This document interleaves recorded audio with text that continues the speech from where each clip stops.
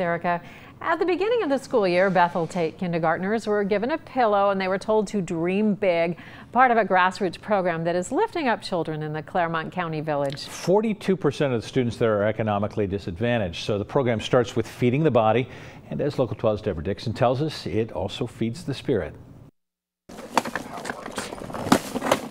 These bags are delivered to Bethel Tate schools at the end of every week. Tiger packs, named after the school mascot, are filled with food to last a weekend. They are discreetly given to children who could go hungry. Always we give out two proteins, we give out breakfasts, we give out snacks. We try to do a fresh fruit. Food is donated or paid for with money raised by the Bethel group Empower Youth. Teacher Jerrie Browne says hungry children sometimes act out. I can ask them, What did you have for breakfast? I didn't eat breakfast. What did you have for dinner last night? We don't have food in our house. Well, that's, that's the reason. They're, they're not children with poor behaviors, they're hungry. Feeding children is just part of the program. This is 11 year old Dakota Dempsey. He started wearing ties after going to the leadership programs. Then there was the college field trip that changed the way he sees himself.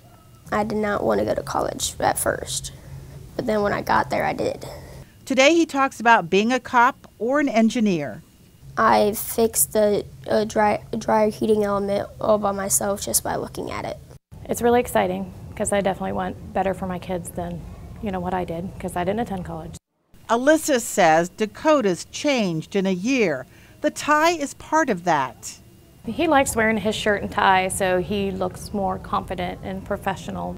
Dakota and other children work in the community and get paid by Empower Youth that also raised enough money to send 138 of them to camp that may include another college visit. They say, wait a minute, I can do this. Mama never went to college, daddy never went to college, but I think I can go. And we said, yes, you can, and we're going to help you get there. It's all a grassroots community thing that opens a window to the world that allows dreams to come in. Deborah Dixon, Local 12 News. You can find more information on Empower Youth at empoweryouth.me. Uh, we have a link at local12.com.